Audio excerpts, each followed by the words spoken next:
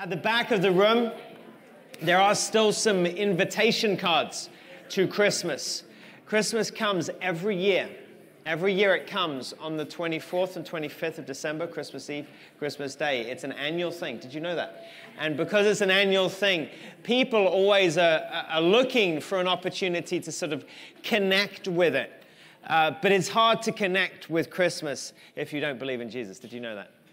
Uh, the world desperately tries to connect with Christmas. They desperately, desperately, desperately want the gifts and the, and the stockings and the Santas and the Polar Expresses to somehow kind of fill that, that sort of. Uh, fill that void at the heart of the, of the holiday, but they, but they can't. And so you would be amazed how many people are looking for an invitation to come and actually worship at Christmas. People who don't normally think of God or don't really have much of a, of a, an, a, a predisposition towards the things of the Lord will actually find themselves at Christmas much more open than you would ever realize. Probably more open to receiving an invitation than you are to giving one. Yeah, it's one for you to think about and pray about a little bit. Um, I was reading some, I got sent a, an article this week. It said that actually only 32 people out of every thousand in this nation goes to church regularly. And that's half what it was 20 years ago. That's significant. The, the, the church attending population of the United States of America is, uh, is half what it was 20 years ago. That, that is, that is, that's the reality. It's this stark reality of the accelerating lostness all around us. And yet, people are, are very, very spiritual. I think it's a, uh, there's just a disillusionment and a cynicism that's kind of crept into our souls. And we don't even realize it. 968 people out of every thousand um, are not reaching out or connecting with, with Jesus this Christmas in a meaningful way. Uh, but what they are doing is what the rest of us are doing. They're piling up the credit card debt. They're, um, they're filling up their, their grocery carts. They're loading up at the ABC store. They're binge watching Netflix. And the, the problem is, is that we're, we as a society, as a culture, we're all drowning. We know these things don't work. We know these things aren't really kind of filling us deep within our soul, but we're, we're desperate. I think you uh, was it Bono from U2 tw- uh, uh, uh, in one of their, their songs years ago talked about Jesus, won't you take the time to throw a drowning man a line? It's one of their Christmas songs talking about how there really isn't peace on earth. And uh, deep down, people, people don't believe that God really can be bothered with them. It's not that people don't believe that God exists. I mean, I think our understanding of medical, of the way, the way the human body is crafted, the way the world works, our, our understanding of biology and, and nanobiology and what's going on at the micro. The, uh, listen, there aren't really any atheists left. Did you realize that? You, you actually can't have a brain and be an atheist. You can't. It is impossible for what we live. This, this circling globe spinning through the universe at the perfect speed, at the perfect ratio, at the perfect, with, with, and life just happens. The way, I mean, no one who's really actually spent any serious time looking into this can actually come up with the conclusion that there is no spiritual reality out there. It's just, we don't really like the answer that the Bible gives us. We, we, we know there's a God, we just don't really like him, or we don't believe he's, he's invested in our lives, or he cares about our lives. And so Christmas is an opportunity for you to be the hands and feet of Jesus, to literally throw a line to people, a lifeline, to take the time to notice them, to invite them in. Because the only place they'll find true rest for their souls is in the family of God. And, and the world will tell you that the church is the problem. Do you, do you, yeah, if you turn on the news, Every, every week there's an article about how Christians are the problem. Christians are the source of all the problems of the world. I mean, I read it all the time. I get sent these articles all the time. And, and it's not true. it's just not the truth. Uh, so, what people do is they try and hollow out the season. They try to remove all references to the baby, to the manger, to the shepherds, to the star. I mean, when I first came to America, I was shocked, and I say this as an Englishman. I come from pagan England, as you hear me say many times. And yet I, I came to America, I went to a, an elementary school Christmas, uh, Christmas, well, no, holiday, sorry, holiday production. And there were frost, there were snowmen, and there were winter songs, and there were songs about um, the Polar Express, and, and there was not a single mention of a baby or shepherd or a manger. Back where I come from, you have an elementary Christmas production, it's Mary, Joseph, the shepherds, and the stars. So, why is America so different? It's because we've worked really, really hard to take, to disconnect uh, Jesus from uh, the Christmas season because we've, we, have we have somehow bought into the lie that, that actually that, that the church is the problem. The, the, truth is, is that the church is God's solution to the problem, which is the emptiness of our souls, the bankruptcy of our souls. Uh, uh, the, the, world, the world doesn't believe. He, it knows that God exists. It just doesn't believe He cares about them. And this Christmas, we can challenge that notion. We can actually give people an opportunity to realize that not only does God care about them, but we care about them that the message that we speak at Christmas dismantles the lie. It echoes through the generations that God is indifferent to your suffering. He doesn't care about your journey. He's not interested in your story and he's not able to do anything about it. And that's the greatest lie ever told. Because you open the pages of Luke chapter 2 and you'll realize that God cares intimately. He cares intimately about people's lives and he cares intimately about the details of their lives. And so I'm going to begin reading from Luke chapter 2 today. Turn with me in your Bibles. Many of you are familiar these are possibly the most familiar words in the Bible. Uh, they ought to be familiar to many of you. In those days, a decree went out from Caesar Augustus that all the world should be registered. This was the first registration when Quirinius was governor of Syria. And all went to be registered, each to his own town. And Joseph also went up from Galilee, from the town of Nazareth, from the town of Nazareth to Judea, to the city of David, which is called Bethlehem because he was of the house and the lineage of David, to be registered with Mary, his betrothed, who was with child. And while they were there, the time for her to give birth, the time came for her to give birth, and she gave birth to her firstborn son, and wrapped him in swaddling cloths, and laid him in a manger, because there was no place for them in the inn. And in the same region, there were shepherds out in the field keeping watch over their flock by night. And the angel of the Lord appeared to them, and the glory of the Lord shone around them, and they were filled with great fear. And the angel said to them, Fear not, for behold, I bring you good news of great joy that will be for all people. For unto you is born this day in the city of David a Savior who is Christ the Lord. And this will be a sign for you. You will find a baby wrapped in swaddling cloths and lying in a manger. And suddenly there was with the angel a multitude of the heavenly hosts, praising God and saying, Glory to God in the highest. On earth, peace among those with whom he is pleased. And the angels went away from, from them into heaven. The shepherds said to one another, Let us go to Bethlehem and see this thing that has happened, which the Lord has made known to us. In those days, with, with, you know, when, when we, we hear these words, a decree went out from Caesar Augustus. We, we get filled with all these goosebumps and good feelings, don't we? Because we, we, we find ourselves back in, in that scene with Linus, Charlie Brown. And we have, we have good feelings about that. that it, it, we, we think hot chocolate and gingerbread men and presents under the tree and, and a roaring fire and chestnuts. You know, all those good images and feelings and thoughts that we associate with the Christmases of long, long, long ago. Not, not the more recent Christmases where we're fighting with, with each other and with our kids and with our families and all this kind of stuff, but the, the Christmases of like four and five years old. We have these good memories. We read this passage of Scripture and it fills us with just comfort and peace, doesn't it? In those days, Caesar Augustus issued a decree that all the world should be registered. Think about it for a minute. You've uh, the disruption and the inconvenience. There's a census and each one of you has to go back to the courthouse in the town which is written on your birth certificate so that the IRS can double the amount of income tax you're paying next year. That's what's going on here.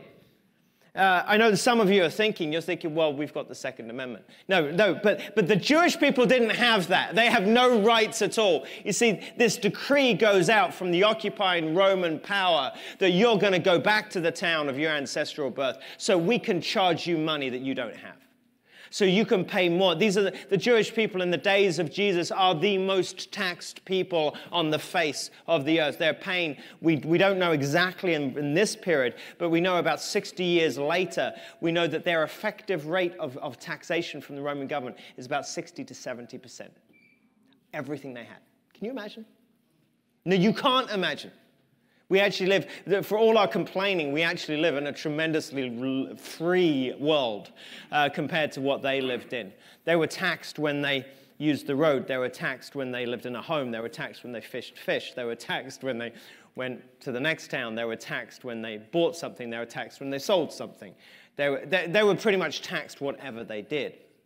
And so the, the, the, the, problem is, is that Mary and Joseph, this young couple that finds themselves unexpectedly pregnant out of wedlock, uh, rejected by their family, kind of ostracized by their community, finds themselves with no choice than to make this long, arduous, difficult journey down the spine of the mountainous spine of the, the land of Israel, from Nazareth in the north down to Bethlehem just south of Jerusalem is a, a little over 100 miles. And it's not 100 miles straight. It is up and down and up and down. So up some very, very steep mountain ridges and across some very um, uh, treacherous valley mountain passes through the, the, the route, what's known as the route of the patriarchs, most likely, down through Samaria. And, and so there's, there's, a, there's disruption, there's lost income, there's exploitation. And one of the things I want us to realize as we go to this, this story is how sometimes the most beautiful things come out of the toughest of circumstances. There's nothing fun, there's nothing wonderful, there's nothing that feels good about the circumstances of Luke chapter 2. Certainly not for the people within the story. Fear not, the angel says to the shepherds. Behold, look, I, bring you good news of great joy that will be for all people. It's funny how we have to turn our attention to that. Behold, I bring you good news. Well, well, I didn't think it was good news. I thought that my life was falling apart. I thought the circumstances of our social and economic and political and national situation were completely beyond repair. And yet the angels break through the sky. Fear not, behold. Good news of great joy. You see, most of us in these circumstances of Luke chapter 2, whether we were the shepherds, whether we were Mary, whether we were Joseph, whether we were any of the players in the story, we would have thought that this was not very good news and it certainly wasn't going to impact anybody else. Uh, the governor, uh, Quirinius, issues a decree that Caesar Augustus has declared everybody should be registered and taxed. And so the invitation for us is to look beyond these and to see that in the midst of our season, in the midst of our stories of our lives, our situations, that we, we get to look, behold Him and realize that there is good news of great joy of what God is doing. Not what man is doing, not what the government is doing, not what the Caesar in Rome is doing, not what the circumstances of our lives are producing for us, but there is good news of great joy because God is doing something.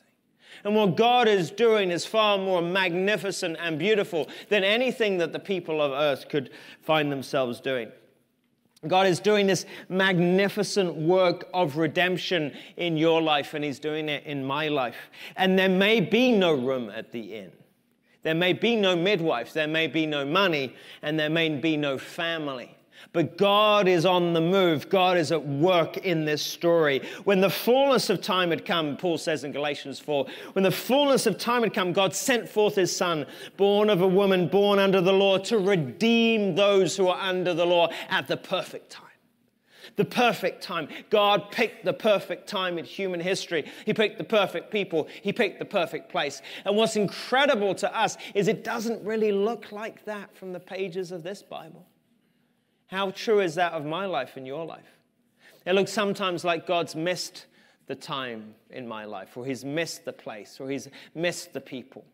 That God doesn't seem to know what He's doing with the broken pieces of my life. He's, you know, He says that He's got a plan. He can work all things together for good, for the, for the good of those who love Him. But do we really believe it? Do we really believe that God is good, that He is able, that He is sovereign, that He's working? And that's the great challenge of the Christmas story. Do we, do we recognize the, the incredible power and majesty of God's plan? Or do we just think it's a bunch of random coincidences all thrown together? God isn't just papering over the cracks in this redemption story. He's not just urging humanity to self improvement. He, he's, he's taking all these pieces of the Old Testament prophets and the brokenness of the sinfulness of humanity, and he's doing something new. It's what we spoke about a few weeks ago. Behold, I'm doing a new thing. I'm doing a new thing. I'm doing something that you've ne- has never been done before. I'm breaking through the darkness with my light. I'm penetrating the lies with my word. I'm bringing to birth something in planet Earth that will change everything for everyone for all time. Behold, good news of great joy that will be for all people. And so uh, we, we, we enter this story and we realize that God isn't just in the business. When it says that the, the, the, perfect time Jesus was born, brought forth from woman to redeem those under the law, we, we don't understand what that word redemption means. Redemption doesn't just mean that, that, that God makes old things uh, better again. He doesn't just put us back together again the way we were. He takes the old and the broken and he makes something new and beautiful, even in the midst of the brokenness. This is the gospel of the kingdom, is that God takes my weakness and my brokenness and he makes something beautiful out of it. He takes, he takes our wounds and in those scars, he, he, he inscribes his love for us.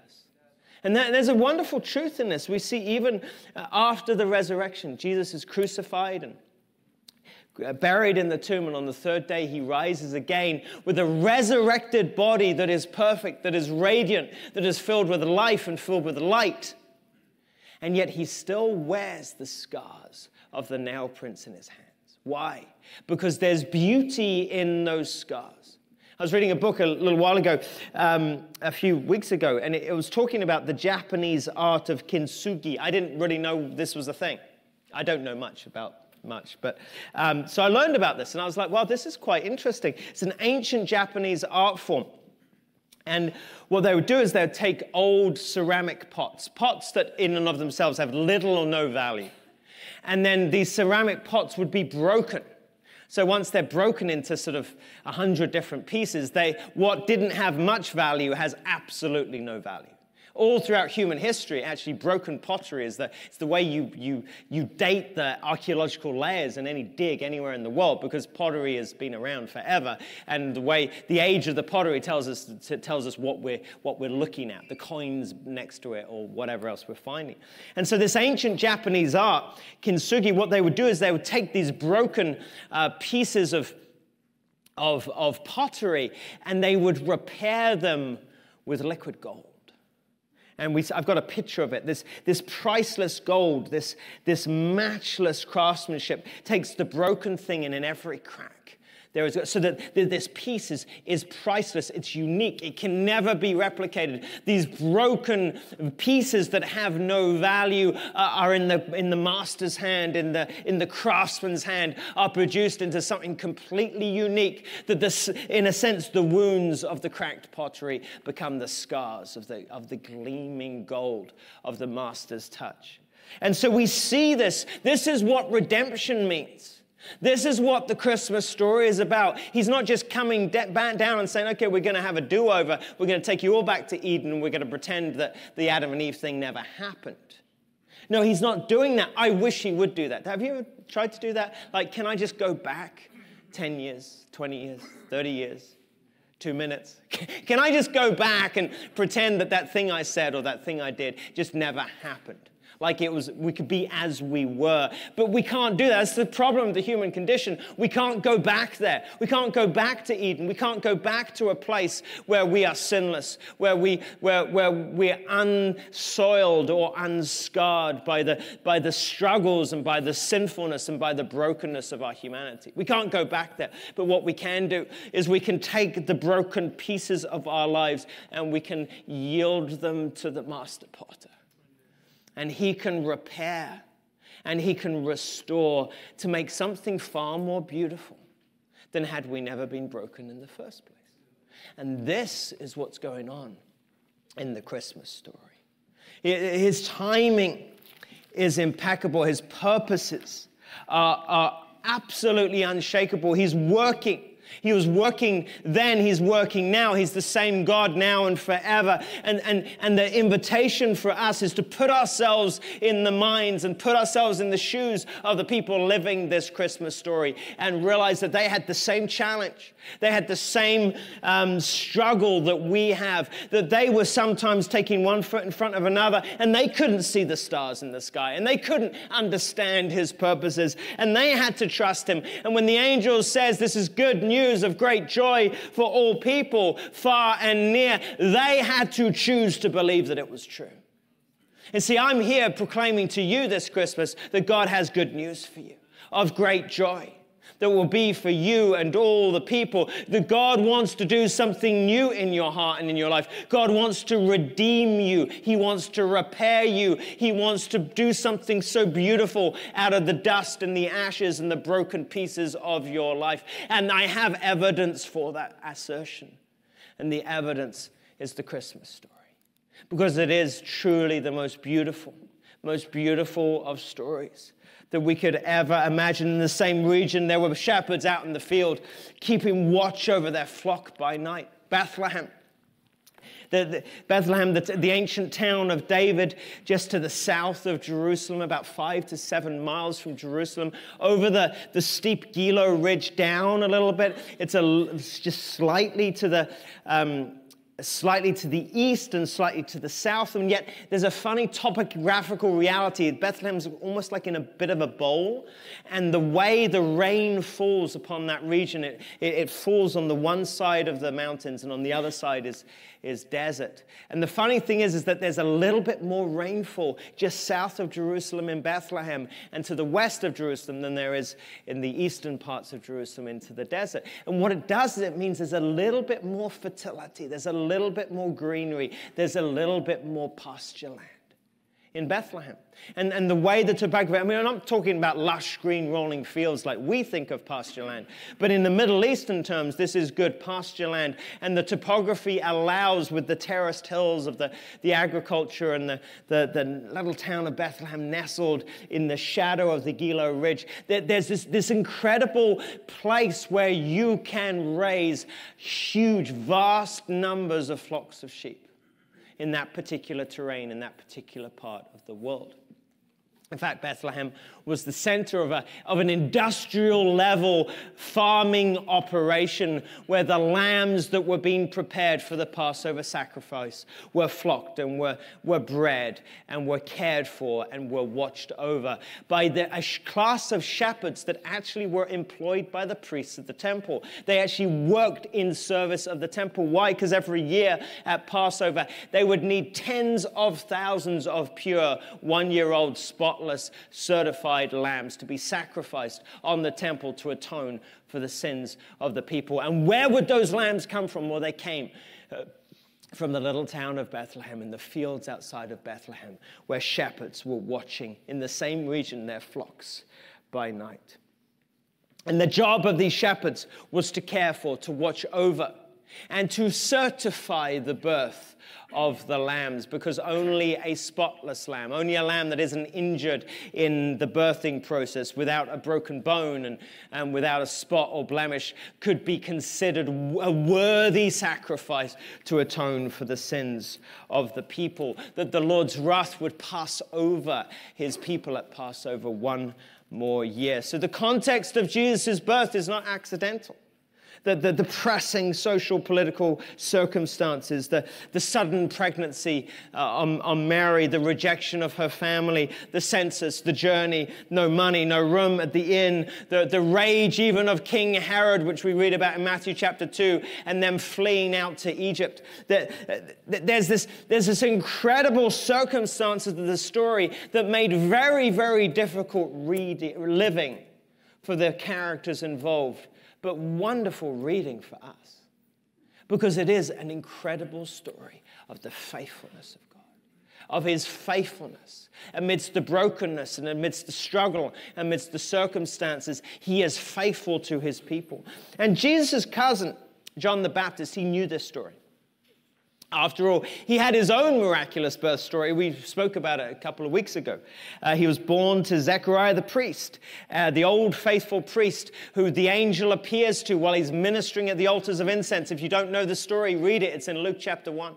Uh, and he, he, he uh, the, the angel appears to Zechariah, says, You're going to have a son, and he's going to prepare the way. He's going to be a forerunner for the one who's come to deliver uh, your people. And Elizabeth, he says, How can that happen? Because Elizabeth, my wife, is old and she's barren. And the angel says, I stand in the presence of God, and I've said that he's going to do it, and he's going to do it.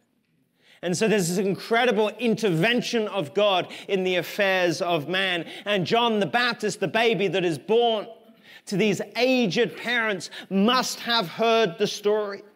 No doubt he'd heard talk from his mother as a young child of her dear cousin Mary giving birth out of wedlock in the shepherd's fields outside of Bethlehem.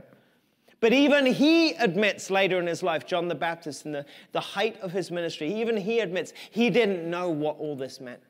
And he wasn't even sure that this Jesus that, that, that the family had spoken about, that was born in the fields, that was attended by shepherds and was visited by wise men, that fled to Egypt for fear of the wrath of a tyrannical king. He wasn't even sure that this Jesus was really the one. Several times in the Gospels, we, we once at, in John chapter 1 and once a little bit later, we, we, we see John the Baptist questioning Jesus, Are you really for real? Are you really the one? I know your story. I know you were, I know that the angel spoke of your birth just as he spoke of mine, but are you really the one? But there's these moments of incredible prophetic clarity that come upon him. And the first of these we read in John chapter 1 uh, when he's baptizing by the Jordan River. This is 30 plus years later. He's baptizing by the Jordan River. He's calling the nation to repentance. He's this incredible, powerful prophet that is, is getting the attention of the authorities and all the people.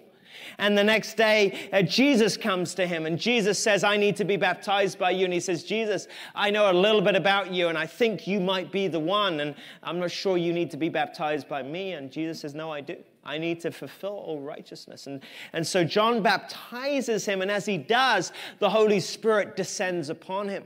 And the Lord had already spoken to John. He says, When you see the Holy Spirit in the form of a dove descend upon someone you're baptizing, you will know that this is the one. And then in the very next day, uh, he sees Jesus coming towards him uh, in the same area by Bethany, by the Jordan, and he says these words Behold, the Lamb of God who takes away the sins of this world. This is he, he says, of whom I said, After me comes a man who ranks before me, because he was before me.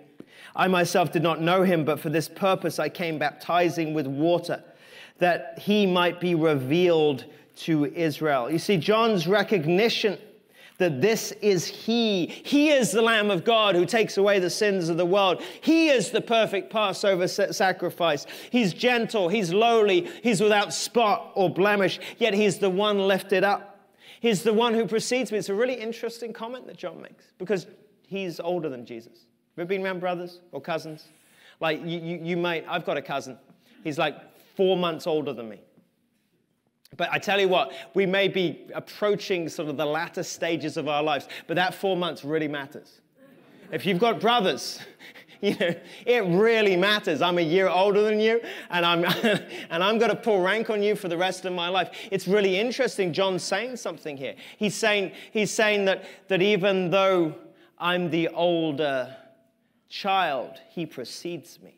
He's greater than me because he was before me. These are astonishing comments that, that John says. How could he be so sure? How could he be so sure of the purpose of Jesus? Because in that moment by the banks of the Jordan River, the Holy Spirit descends upon Jesus and something in his heart is unlocked and he sees it. All the stories he's heard as a child, all the things that, that he's read in the scriptures, they all come together in one moment. Behold the Lamb of God. And that's what I want to unpack for you here today. What was it that came together in that moment? What was it that John recognized? What was it that John saw? You see, John saw a lamb, and in that lamb, he saw a sacrifice. And in that sacrifice, he saw the culmination of God's perfect plan to redeem mankind. The shepherds saw something too. They saw a baby in a manger, they saw a savior. But the authorities of Jesus' day, they saw something different. Uh, they, they saw a threat, they saw a problem. In fact, even King Herod, when you know the bit of the Christmas story we don't like to tell our children, when King Herod, King Herod, I always, it always amazes me that song. I don't understand it. Can, you, can I, I, I didn't grow up listening to this song. Um, do, you, do you see what I see, or whatever that song is? Did you hear what I hear? Do you hear what I hear? Is that how it goes? You know, the king on a hill saying, I mean, in this story, you've got a king on a hill who's like a good guy who's inviting people to, to worship the baby in the manger. And you're like, that's not what I read in Matthew chapter 2. The king on the hill wanted to kill the baby. And the king, on the hill, the king on the hill sent an army of soldiers into Bethlehem to kill all the babies and slaughter them. That's the bit of the Christmas story we don't like to tell. You see, the Christmas story is quite hard. There's some pieces of it that are quite hard. Uh, that, that Jesus' birth is surrounded by conflict and trouble and difficult circumstances. And we feel, we, we, we think of it in terms of the fire and the, the chestnuts and the, and the, and the hot chocolate and, and the gingerbread men. But actually, it, the reality of the Christmas story is, is, is it's quite stark, it's quite difficult. The circumstances are troubling. You see, the, the threat of execution was never far from Jesus. Uh, he spoke, uh, even when he's dedicated as a tiny baby in the temp- temple. We read about at the end of Luke chapter 2. Uh, the great, the righteous Simeon uh, pro- prophesies over him. He says, he, he blesses uh, Mary and Jesus, and he says, Behold, this child is appointed for the fall and the rising of many. He will be a sign that is opposed, and a sword will pierce your soul also, so that the thoughts of many hearts will be revealed. It's an incredible, uh, incredible prophecy. He's saying that there, the sword will never be far from Jesus. The threat against his life will never diminish. That there will be pain and there will be suffering that is deeply inter, interconnected with the calling upon his life. And that suffering, Mary, will afflict you too. And so the, the, the, sword of King Herod may have missed the baby Jesus in Bethlehem when he was born because they fled to Egypt. But that sword was, Damoclean's sword was hanging over his whole life, if you like. The height of his ministry, the, the religious authorities, the Jewish authorities, threatened by his popularity, conspired to hand him over to be executed by the Romans to secure their own place and their own position. You see, John saw a lamb, but they saw a scapegoat. They saw, they saw one who could be used to prop up their position and secure, carry favor with the Roman authorities. Uh, the chief priests, it says in John chapter 11, I put it in your notes, uh, the chief priests and the Pharisees gathered in the council and said, What are we going to do? For this man performs so many signs. If we let him go on like this, everybody will believe in him and the Romans will come and take away both our place and our nation. But one of them, Caiaphas, was the high priest that year, said to them, You know nothing at all. Nor do you understand it is better for you that one man should die for the people, not that the whole nation should not perish. You see, Caiaphas, the high priest, makes this incredible declaration. It's better for you that he dies. John says he's the Lamb of God, and the high priest says it's better for all of us if this one dies. And he had the authority to certify the Lamb. He had the authority to commission the scapegoat. He had the authority to declare the sacrifice appropriate on behalf of the nation, and not just for the nation, but for the whole world. Behold the Lamb of God who takes away the sin of the world. See the precision with which God allowed his purposes to be fulfilled. The precision with which God did not allow anything to fall to chance. All the choices, all the decisions, all the circumstances of men can collide together in the perfect fulfillment of God's redemptive plan. Why? Because he's, he's fusing gold in the cracks and he's putting something beautiful together that we could never have imagined or we would never believe, even if it were told to us, that the God of history knows the beginning and the end, and he knows how to redeem those who put their trust in him.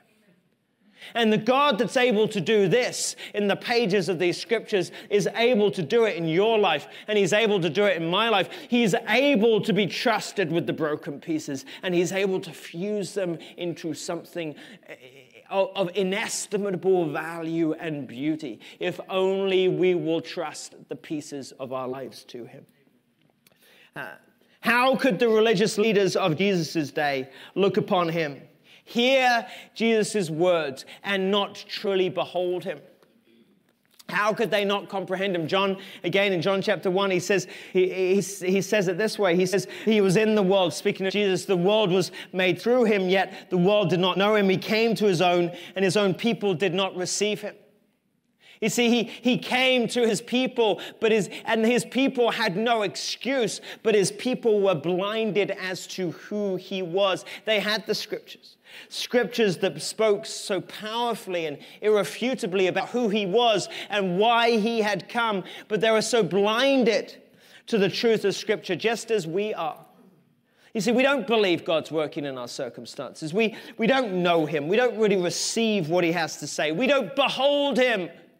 You see, we, we're so busy taking the, the, the, the, rubble of our lives and saying, God, what have you done? God, what have you done? That we're not willing to behold what he's doing. The redemptive power of God, if only we'd let him work through the brokenness, work through the, through the, through, through the circumstances, work through our fallenness. You see, the invitation of Christmas, it keeps coming to us. Behold him. John saw a lamb. He'll take away your sin. He'll deal with it once and for all at the cross. Caiaphas saw a scapegoat, the one who could take away the guilt and the shame from the nation. It's better for you that he die and you get to live. But back in the ancient Old Testament scriptures, the prophets, they saw more than just a lamb. They saw more than just a scapegoat. They saw the plan. They saw it, it was veiled, it was, it was not clear to them fully how it would work out, but the plan of God is prescribed, it's laid out. He was, he was led like a lamb to the slaughter, like a sheep before its shearers is dim, it says in Isaiah, uh, uh, it's dumb, it says in Isaiah 53. He opened not his mouth. Uh, we all, like sheep, have gone astray. We've each led to our own way, but the Lord has laid on him the iniquity of us all. What, what Caiaphas is doing is fulfilling the scripture. What John is doing is recognizing the truth of the scripture. God has been working from the very beginning, and God continues to work. And a God that, that works century after century after century after century to perfect, perfect his plan is able to perfect his plan in your life. Do you believe that? This Christmas. Micah uh, saw this plan. We, we read about it in Micah chapter 5. It's at the end of the Old Testament, one of the great Old Testament prophets, Micah. And the reason why we speak of Micah when it comes to the Christmas story is in Matthew's gospel. When the wise men come to Jerusalem and they say, Where is the one to be born who's king of the Jews? We saw his star in the east and we followed it. Uh, they, they get led into the palace of Herod. And Herod turns to the scribes and the wise men. He says, Well, where is the king of the Jews going to be born? And they're like, Well, Micah says he's going to be born in Bethlehem. That's how they know where to look says this in verse 2 of Micah chapter 5 But you, O Bethlehem Ephrathah, who are too little to be among the clans of Judah, from you shall come forth for me one who is to be ruler of Israel, whose coming forth is from old, from ancient of days. And it says, He shall stand, verse 4, and shepherd his flock in the strength of the Lord, in the majesty of the name of the Lord his God, and they shall dwell secure. For now he shall be great to the ends of the earth, and he shall be their peace. I don't know about you, but you may have been to church your whole life and heard about a lamb who takes away the sins of the world. Or, or maybe you've heard about the substitutionary atonement that Jesus, Jesus paid the price on the cross for your sin and mine. And it's better for us that he died than, than we live continually in the, with the weight of our sin. What Jesus would accomplish on the cross. But I wonder have you really ever grasped the beauty of the plan the precision of the plan of God. His, the one who's coming forth is of old. Everything we see happening in Luke chapter 2, everything we see happening in those shepherds' fields has been foretold, has been prophesied time after time after time after time. The, the precision with which the Old Testament prophets find, uh, find their, their words fulfilled literally and specifically in the life of Jesus is so mind boggling bogglingly amazing. That the plan of God will not be thwarted. God is able to be trusted across the centuries, and God is able to be trusted across the days of your life. Do you believe that? There's God who can weave it all together, can hold your life together. That God can be trusted with your past, your present, and your future. You see, God doesn't make mistakes. He, he, when he formed you in your mother's womb, it says in, in Psalm 139, he saw all your days when they were as yet unformed. He, he, he's the one who counts the hairs on your head, and he knows the thoughts in your heart before you even utter them or speak them. He knows you. He knows you're rising. He knows you're sleeping. He knows you're coming in and you're going out. And his coming forth has been prophesied of old. He is the Ancient of Days, and his magnificent, eternal, ancient work of redemption stretches through time. It stretches through your past into your present, and it will lead you into your future. And we read about it hundreds of years before it even happens in the scriptures, and these scriptures can be trusted. The scriptures that could be trusted in the days of Jesus can be trusted with your life today. And so we, we turn back the page of Micah chapter 5 to Micah chapter 4. And as, as I get ready to close, I want, I want you to, to just, just, just dwell on the imagery of the prophet here. It says, it, it speaks about in that day, the Lord's going to gather back his people, those who are cast off, those who've been driven away. That there's going to be a, a coming kingdom where he, like the good shepherd, will gather his lost and scattered sheep. And then it says, And you, O tower of the flock, hill of the daughter of Zion, to you it shall come. The former dominion shall come, kingship for the daughter of Jerusalem. Why do you cry aloud that there's no king in you? Has your counselor perished? The pain that seized you like a woman in labor, writhe and groan, O daughter of Zion, like a woman in labor. For now you shall go out from the city and dwell in the open country. You shall go to Babylon. There you shall be rescued. There the Lord will redeem you from the hands of your enemies.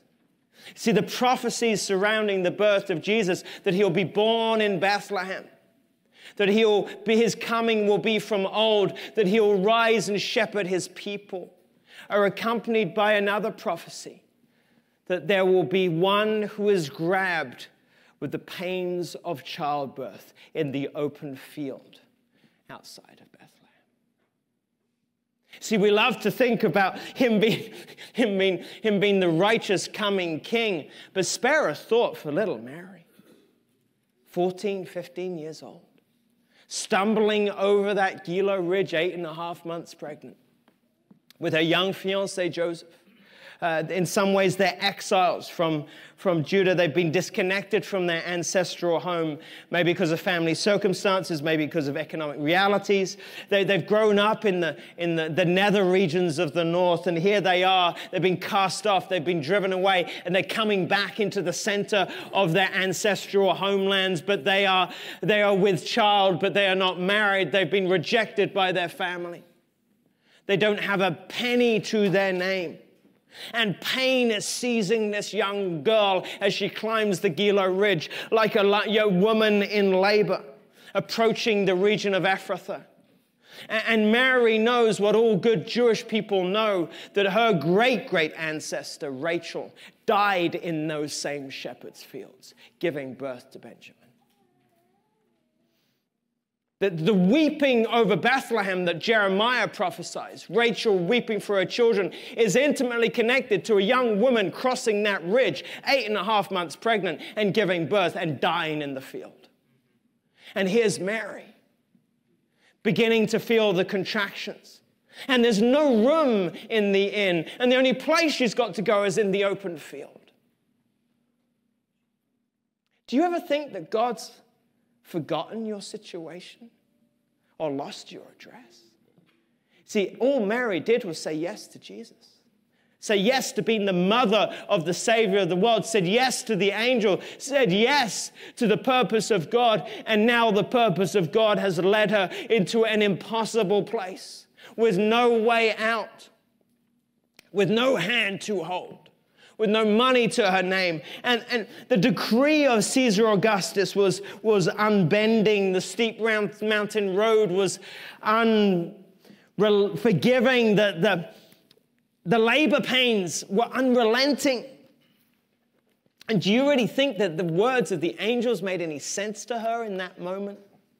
Behold, good news of great joy. She's, she's in the labor pains in the middle of a field, giving birth, and for all she knows, her part in this story is to give birth and to die, just like her ancestor Rachel.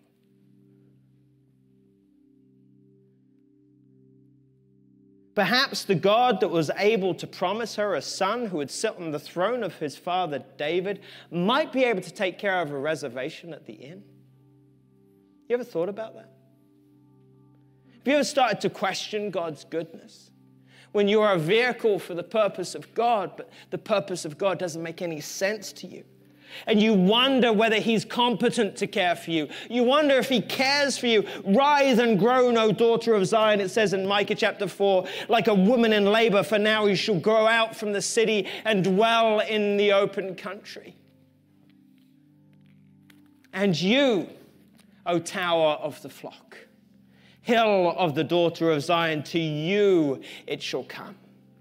You see, out in the open countries of the fields outside of Bethlehem are what's called these towers of the flock. It's actually a thing. In Hebrew, it's the Migdal Eder. It's, it's actually a, it's a structure, an ancient structure. You see them all around this fields by Bethlehem. They're watchtowers. Why? Because all the shepherds would flock these massive flocks of sheep that they would use to raise the temple sacrifices. They'd build watchtowers so they could watch over large numbers of flocks. They could take care, they could spot the bears and the lions and the wild animals. And these, these watchtowers were built on the sides of the cliffs and normally built on top of caves or either one or two stories or sometimes just built on a cave. And, and at the top, they would watch, and down below, they would lie down, maybe sleep. They would have feeding troughs for some of the animals. In Hebrew, it's called a migdal eder, the tower of the flock. In the New Testament, it's translated as a stable. And the purpose of these structures was to have a safe place to bring the lambs in so that when they gave birth to their lambs, these lambs would not be injured. These lambs would be cared for. These lambs could be wrapped in swaddling cloths. Do you know what swaddling cloths were? The Mishnah tells us what they were. The Jewish oral tradition tells us that, that these priest shepherds in the fields outside of Bethlehem would have the former priestly garments that would be worn by the priests as they ministered in the candles and the incense altars in the temple of God. And when those those garments got too old to be used, they would be ripped up into cloths and they would be handed to the priest shepherds with which they would wrap the newborn lambs that would be prepared for the Passover sacrifice. And this will be a sign for you when you see a baby in place of a lamb when you see a baby in one of these birthing rooms that are prepared for the lambs, being attended to by the priest shepherds, being, being wrapped in the swaddling cloths, that these holy garments that are used to preserve the perfect sacrifice. When you see these things, you'll know that a Savior has been born to you. Nothing was left to chance the certification of the birth of the Lamb of God, the birth announcement of all birth announcements, the sky breaking open, and the angelic choirs singing, Glory to God in the highest, on earth peace to men upon whom his favor rests. How do I know the favor of God rests upon you? Because he's not forgotten his purposes, because his plans are perfect and He is able to hold you, He is able to preserve you, and He is able to redeem you. Bethlehem, Ephrathah. From you shall come a ruler of Israel, the ancient of days, the one who will stand and shepherd his flock with the strength of the Lord, and he shall be your peace.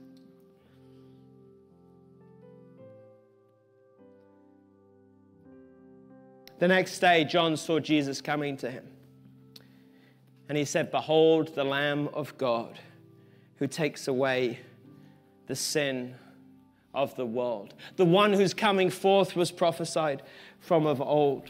The one who's able to reconfigure the broken shards of your life with gold. The one who came forth from the fields of Bethlehem and Ephrathah, from the smallest of the clans, clans of Judah, the one called to be the ruler of Israel, the one uh, who's ancient of days, the one who precedes me, John said, the one who will shepherd me, John says, who will shepherd his flock, who will be our peace, the one that's been prophesied, the one that's been promised, not just the word made flesh, but the Lamb of God, the shepherd of the flock, the Prince of Peace, and by his sinless sinless birth and his perfect sacrifice. He's, he was offered up for you without spot or blemish at twilight on that Passover on a Roman cross. Who could have ever imagined a story like this? A story of such beauty. Good news of great joy. Will you behold it? Will you look about it? Because what happens when you look at the beauty of this story is you see the magnificence of God's power to make your story beautiful in the broken places, to weave the broken pieces together and make something of your life that is so much more valuable and so much more magnificent and so much more precious and so much more incredible than you could ever believe or you could ever conceive or you could ever imagine. Just think of Mary and Joseph. They had no idea we'd be talking about them thousands of years later. They had no idea what God was doing. And you don't either, but He's working his purposes out in your life. And so I'm going to ask you to stand with me right now as we respond to this word. We we're, we're running out of time. And I want us just to have a moment. In a moment, I'm just going to ask the worship team just to lead us in that chorus of the, the Lamb of God. And I want us to gaze upon him the perfect, sinless Lamb of God. We're so fixated with a baby in a manger, we forget the God in the heaven that is working all the time. Some of you may not have truly beheld him and received him. You may believe in him in your head, but you've not received him in your heart. There's going to be an opportunity in a moment for you to receive him. There's going to be people at the altars who are going to come forward, and you can pray with them. I, I, I've heard about you but I've never really believed that you are the one for me, that you're the one who can save me, that you're the Lamb of God who takes away my sin. If that's you, I want you to respond. Just come and pray with someone. And secondly, I don't want us just to behold the Lamb today. I want us to behold the plan. See, God has a plan and God is working out his plan in your life. And if, like Mary and Joseph, you don't get it, you don't understand it, you don't like it, and you, you really feel a lot of fear about it, I want you to realize that he is a sovereign God and he can work through any circumstance and he can achieve the thing he's purposed for you this Christmas. If you're struggling with that in your life, to believe that God is able to take the broken pieces and make something beautiful of them. But, but you haven't seen the brokenness of my life. You, haven't, you don't know what I've done. You don't know what I've been through. I want to encourage you, come forward, let someone pray and agree with you. Behold his purpose in your life. Good news of great joy for all people will be to you this Christmas because the Savior has come down. Behold him. Behold the Lamb of God. Lord, I just pray that these words would penetrate our hearts, Lord, that we would look upon you. Lord, the lowly and lifted one, the, the perfect sacrifice, the ancient of days. You've been working from before time. You've been preparing us for this moment, Lord that we might receive you as the one, the author of our story, the finisher of our faith, the one who's able to lead us through.